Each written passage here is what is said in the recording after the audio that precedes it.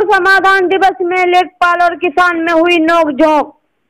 जनपद मुरादाबाद के बिलारी तहसील संपूर्ण समाधान दिवस चल रहा था, जिसमें सत्तर से अधिक शिकायतें आई और कुमार पंकज उप जिलाधिकारी द्वारा पंद्रह शिकायतों का निस्तारण कर दिया गया।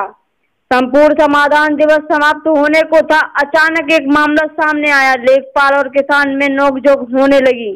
बिलारी तहसील संपूर्ण समाधान दिवस समाप्त होने के बाद अचानक एक मामला सामने आया है बिलारी मतलब हो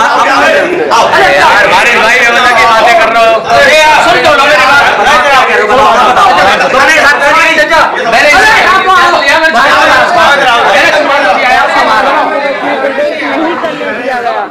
नरेश किसी तरीके से समाधान दिवस प्रवेश किया तो लेखपाल उसके पीछे पीछे सभागार में पहुँच गया पीड़ित ने अपनी बात कुमार उप पंकज जिलाधिकारी से शिकायत करने गया था, जो कि लेखपाल ने पैंतीस साल पुराने प्लॉट पर दूसरे को कब्जा कर दिया है। और लेखपाल ने बीस हज़ार डेढ़ महीने पहले आशीष नाम के लेखपाल के हाथ में दिए थे, जिसकी भी शिकायत करने समाधान दिवस बिलारी पहुँचा था। लेखपाल आशीष जौहरी ने पीड़ित से चार हज़ार की मांग की थी। पीड़ित नरेश ने बताया कि लेखपाल ने मुझसे बीस हज़ार प्लाट पर कब्जा कराने के लिए हैं। पैसे व प्लॉट पर कब्जा कराने को लेकर लेखपाल और नरेश में सभागार में लेन देन और को लेकर तनाव होने लगा, जिसकी वीडियो पत्रकार ने बना ली।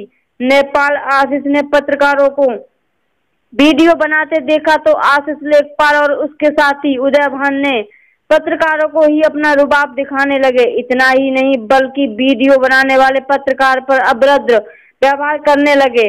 और उसका मोबाइल छीनकर अधिकारियों के पास ले जाने लगे। लेकिन पत्रकार उप जिला अधिकारी कुमार पंकज के आवास पर पहुँचे और अपनी बातों को रखा। उप जिला अधिकारी कुमार पंकज के आवास पर बैठकर लेखपाल अध्यक्ष को बुलाकर उप जिला अधिकारी ने बात रखी और पत्रकारों से पूछताछ की।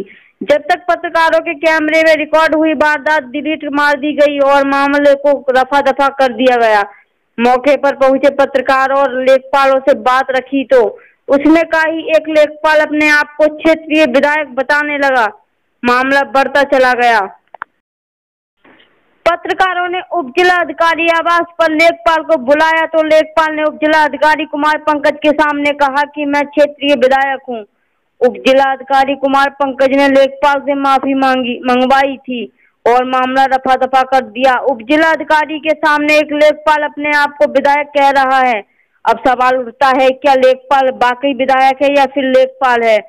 उधर दूसरी तरफ़ पीड़ित नरेश काफ़ी समस्याओं से जूझ रहा है, जिसकी कोई भी अधिकारी सुनने के लिए तैयार नहीं है। उसका आरोप है कि मेरे प्लॉट पर पैंतीस साल से मेरा कब्जा था, लेकिन तहसीलदार द्वारा और हल्का लेखपाल द्वारा मेरे प्लॉट पर किसी और व्यक्ति का कब्जा करा दिया गया है। पीड़ित शिकायत करते करते थक गया है, लेकिन उसकी कोई भी अला अधिकारी बात सुनने को तैयार नहीं है। जो पीड़ित पर पैंतीस साल पुराना परखा आज भी मौजूद है, लेकिन उस पर कोई भी अधिकारी ध्यान नहीं दे रहा है। पीड़ित अब जाए तो जाए कहा? हिंदुस्तानी ट्वेंटी फोर से विकास चौधरी की रिपोर्ट।